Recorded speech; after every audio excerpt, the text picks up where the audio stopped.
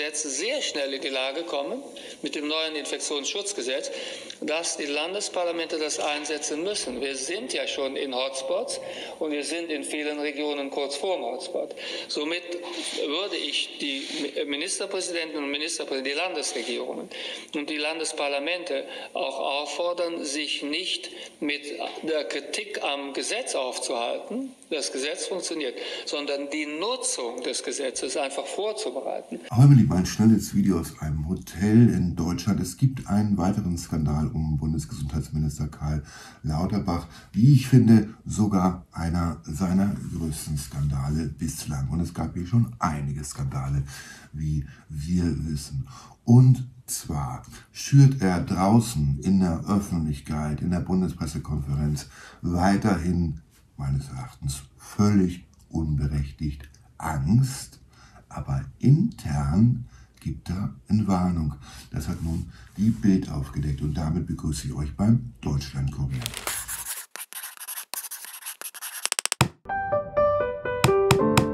Bevor wir loslegen, bitte vergesst nicht, ganz, ganz wichtig, uns zu folgen auf Telegram und auf Getter. Adressen findet ihr hier drunter in der Infobox. Das war gestern am Freitag, als er weiter Panik versuchte zu schüren. Die Lage sei kritisch, schlechter als die Stimmung im Land. Jeden Tag würden 200 bis 250 Menschen sterben.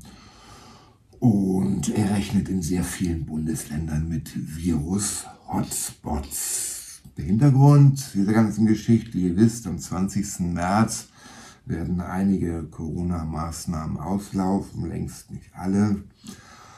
Und dann können die für diese Hotspots schärfere Regeln verhängen lassen von den Landesparlamenten, die dann auch gleich für das ganze Bundesland gelten.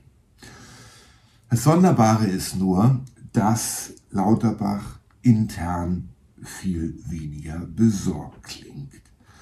Bild hat einen Brief geleakt, den der Minister in der letzten Woche an die Kassenärztliche Vereinigung. Und darin kündigt Lauterbach die Streichung der Corona-Sonderregeln an, weil unter Berücksichtigung der stabilen Situation auf den Intensivstationen aktuell eine Überlastung des Gesundheitssystems nicht mehr zu erwarten sei. Extrakosten für Schutzausrüstung, Lagerhaltung, bla bla bla, sollen auch alle wegfallen aus den gleichen Gründen. Und Lauterbach schreibt weiter, auch sind die saisonalen Effekte mit zu berücksichtigen, die sich wahrscheinlich günstig auf Neuinfektionen auswirken werden. Darüber hinaus hat sich gezeigt, dass die Omikron-Variante deutlich mildere Verläufe verursacht. Ja, meine Lieben, das ist das komplette Gegenteil von dem, was er der Bevölkerung erzählt. Er hat sogar, das habe ich eben vergessen zu erwähnen, er hat sogar gesagt, das was ähm, dass man auch trotz Impfung an der Omikron-Variante schwer erkranken kann und so weiter und so fort. Also inzwischen ist dieses ganze Impfgedöns ja komplett gefallen. Tino Sorge, das ist der gesundheitspolitische Sprecher der CDU-CSU-Bundestagsfraktion, sagt, die Lage kritisch zu nennen, aber die Unterstützung für Arztpraxen auslaufen zu lassen, das passt nicht zusammen. Entweder übertreibt der Minister mit seinen Prognosen oder er lässt die Ärzte im Regen stehen. Beides wäre fatal. Ja, letzterer Punkt ist ja an Lächerlichkeit kaum zu überbieten. Der Lauterbach würde einen Teufel tun und die Lage auch noch beschönigen, wenn sie denn tatsächlich kritisch wäre. Er selber redet sich wieder damit raus, dass der Brief schon im letzten Monat, vor einem Monat formuliert worden wäre und da wären die Zahlen halt gesunken, nun würden sie wieder steigen. Ja, was für ein Quatsch, als ob er so einen schrieb, der schon einen Monat alt ist, dann in der letzten Woche rausschickt. Und ich habe noch was gesehen.